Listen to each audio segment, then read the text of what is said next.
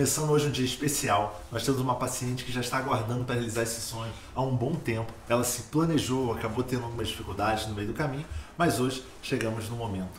Ela tem 35 anos, já passou por três cesáreas, o abdômen já não é nem perto do que ele era antigamente, bastante flacidez, estria, o umbigo está bem grande e bem aberto, perdeu a cintura e tudo a gente vai corrigir com uma abdominoplastia HD. Vamos fazer o fechamento da diástase, aquele abaulamento que ela tem no abdômen, fazer um espartilho interno para dar a cintura para ela. Além disso, vamos fazer uma lipo de definição no abdômen e enxertia intramuscular para botar gordura dentro dos pecs abdominais para poder dar uma definição verdadeira, uma definição natural para ela, que é firme ao encostar. Além disso, ela também se incomodou com as mamas dela, que depois da amamentação acabaram ficando caídas, teve diferença uma da outra, que o bebê acabava sempre mamando na mesma.